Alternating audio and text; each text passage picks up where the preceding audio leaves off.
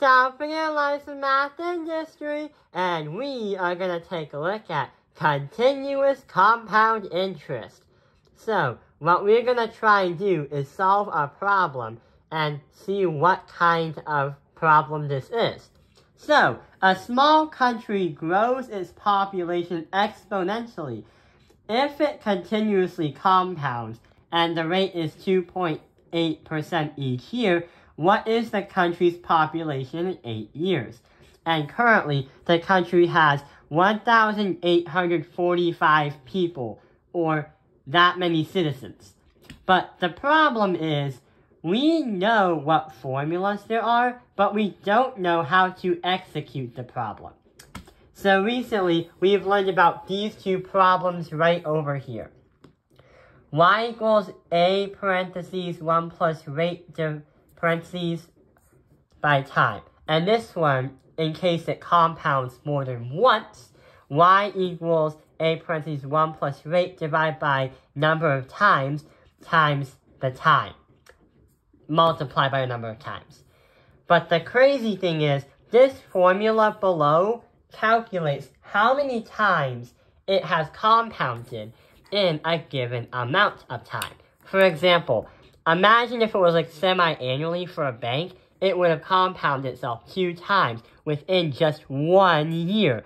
But the problem is, this problem right over here says that it compounds continuously, not just one year and eight years. So there's a little bit of confusion. So right over here, we're going to try to learn a new formula and help us understand how are we going to calculate and get this problem done? And how are we going to calculate compound interest that's continuously happening for on and on and on? So, we are going to look at a pattern. And yeah, here is the pattern. So last video, we've been doing the definitions of like how many times something has compound. But we've also been learning about this formula on the bottom. What this chart shows is if you were to compound as many times as shown per year, what would happen? So annually, since it's just one time, it's just one. You would have earned $2 if you invested $1 into the bank. If you did semi-annually, meaning that it compounds twice a year and invest $1, you do the math for compound interest and you get $2.07. No, $2.70. Funny. For quarterly, when you do that, you do the formula, invest $1, $2.71. Monthly, when you do that, you compound by 12 in just one year. And you get this crazy decimal 2.718. So what it's trying to say is there's two things. One, the more you compound by itself in a same amount of time, when you compound annually versus you compound 52 times a year, the more you compound, the more decimals you're going to get. And a little bit more money that you would expect. So if I were you, you can't really compound to get decimals because banks don't count decimals unless it's just hundreds like cents. I would want it to compound quarterly then annually so I get a few extra cents. But not only that, there is a little pattern. Every time you go down the list, say 1, 2, 4, 12, 52, you're basically adding another decimal to the sequence. The sequence is 2, 2.7, 2.71, 2.718, 2.7182, and so on. So, if we compound more, the decimal, the number of decimals, the number of digits is going to increase. If we take a look at the next one, where we say after hourly, we also show up every minute. And yeah, this is really, really messy. Because the bottom, I'll show later. So every minute, when you do the math, this is how much you would be able to get when you invest $1. For every second, it's going to get even more. And if you do that every second for a year, you get $2, 7.828182 as like a cash value. Therefore, there is something very, very cool about this. Therefore, we can say that there's some kind of letter E representing it. And it's going to equal 2.71828182. And not only that, I tried to calculate all the digits and write them down on a piece of paper, but since there are so many digits, I lost track and wrote the lot. I wrote the wrong numbers. And that's why I crossed it out. So, the E right here is called Euler's number. And it was made by a mathematician named Jacob Bernoulli, even though it was named for Len Leonhard Euler. That those are two mathematicians, but Jacob Bernoulli actually founded it. E is very useful because it's helpful when you want to calculate. If something was continuously compounding for over a year, then what would it be worth after that time has passed? Many banks would use the letter E and also use a special formula to calculate this.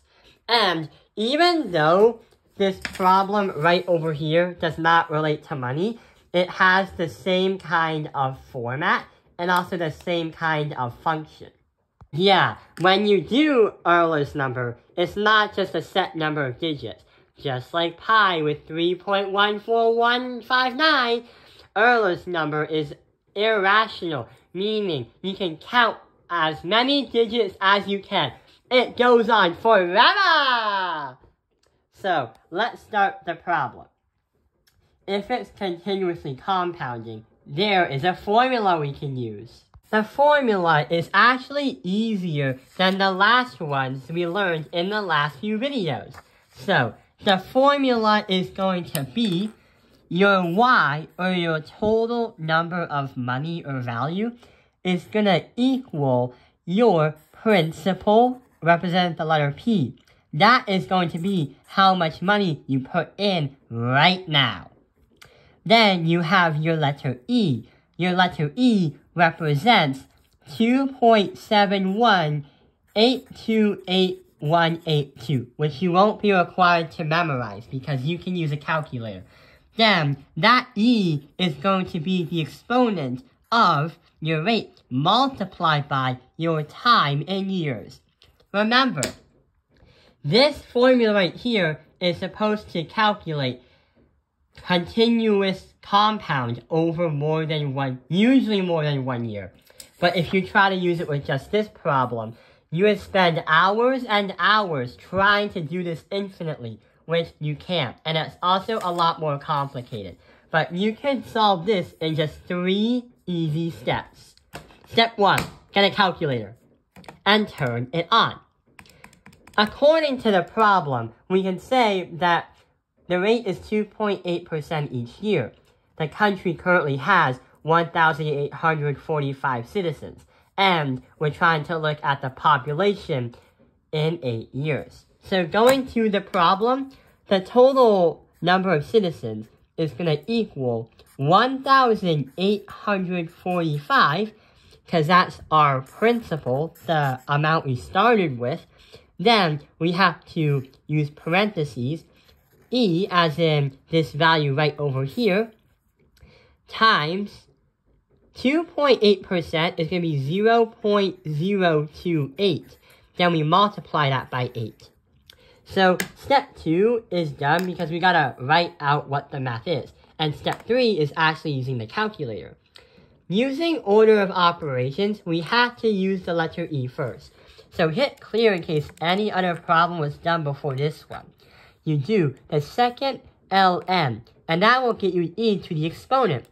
You do 0.028, multiply that by 8, because that is going to be the rate times the time in years.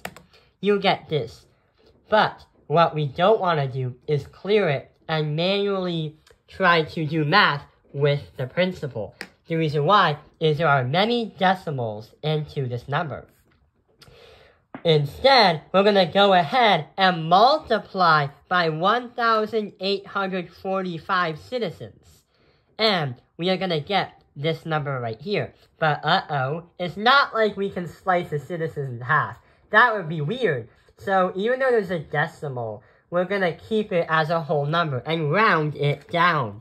So, the total number of citizens, y, is going to equal 2308.22. But we're going to get rid of the decimal because this is how many citizens live in that new small country right over here. If you're using continuous compound interest and Euler's number and you get an answer of $222.5678, what banks would do is they wouldn't round it because rounding it would create another cent, which you can't do. Instead, they will just focus on what the calculator immediately says, and the final answer would be the first digits until the decimal, and then the first two digits. The bank would never round it, because that would be breaking the bank, and that would also be breaking mathematics. So yeah, I hope this video has helped you understand continuous compound interest. Thank you for watching Taopin Airlines Math Industry. Like and subscribe!